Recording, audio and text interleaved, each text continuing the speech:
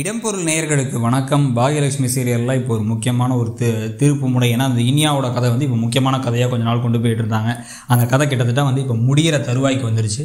அதனால் இப்போ high time அப்படிங்கிற மாதிரி இப்போ வந்து இனியா வீட்டில் வந்து வீட்டுக்கு போனால் நம்மளை திட்டுவாங்க.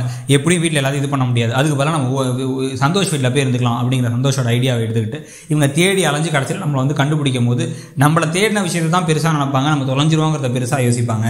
ஆனால் நம்மளை வந்து திட்ட மாட்டாங்க அப்படின்னு சொல்லி ஒரு பயங்கர முட்டாள்தனமான ஒரு பிளானோட வந்து கிளம்பி அங்கே போயிடுறாங்க. போனதுக்கப்புறம் என்ன நடக்க போகுது அப்படிங்கிறதெல்லாம் ஒரு பக்கம் இருந்தாலும் கூட நம்ம ஏற்கனவே சொன்ன மாதிரி இது கண்டிப்பாக பாக்யாவுக்கு கண்டிப்பாக மிகப்பெரிய பிரச்சனையாக வருங்கிறது தெல்ல தெளிவாக தெரியுது. ஸோ வந்து இதை வந்து சங் கோபி திருப்பி திருப்பி பாக்கியா ஒழுங்காக கவனிக்காதனால பாக்கியா மசாலா மசாலான்னு சுற்றுறதுனால தான் இதெல்லாம் நடக்குதுங்கிறத சொல்ல போகிறாங்க ஸோ இது ஒரு பக்கம் இருந்தாலும் இந்த சமயத்தில் ராதிகாவுடைய இன்வால்மெண்ட் இந்த விஷயத்தில் இருக்குமா அப்படிங்கிறது ஒரு முக்கியமான கேள்வி. ஏன்னா வந்து இது வரைக்கும் ராதிகாவுடைய எபிசோடே வந்து ஒரு லாஸ்ட் ஒரு அஞ்சு நாளாக வந்து எதுவுமே அவங்களை காமிக்கலாம் இல்லை. அப்படிங்கும்போது இந்த ஒரு பர்டிகுலர் எபிசோடில் ராதிகாவை கூட வந்து க கரெக்டாக கோபி பேசிகிட்டு இருக்கும்போது இது தெரிஞ்சு கோபி பதட்டமாகி கிளம்புற மாதிரி அந்த மாதிரிலாம் ஏதாவது வச்சு ராதிகாவுக்கு லைட்டாக சந்தேகம் வருமா அப்படிங்கிறத பார்க்கலாம். ஆனால் அப்படிலாம் இல்லாமல் மோஸ்ட்லி இது முழுக்க முழுக்க பாக்யாவுக்கும் கோபிக்கும் இடையில இருக்கிற இந்த பனிப்போரோட உச்சமாக தான் இது முடிய போகுது அப்படின்னு தான் தோணுது.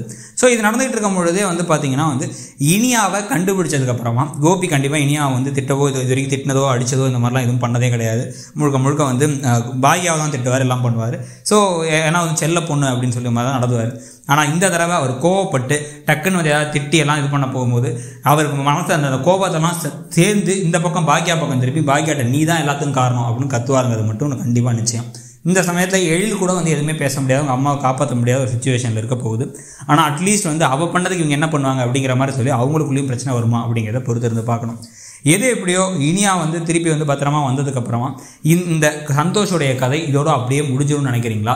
இல்லை சந்தோஷோட கதை வந்து இதோட முடியாதுங்க.